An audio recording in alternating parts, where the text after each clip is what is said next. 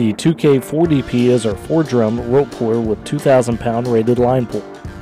This unit utilizes 4 drums, each containing 8,000 feet of half inch synthetic rope. This particular unit includes a level wind screw for constant, even loading of the rope onto the drum during pay-in. One of the more prominent features of this unit is the onboard PLC programmable logic computer.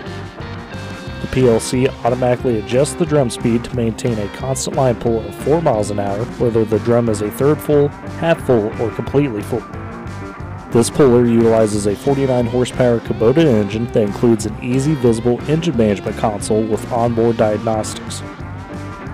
The hydraulics consist of a closed loop hydrostatic system that utilizes a thermostatically controlled cooler.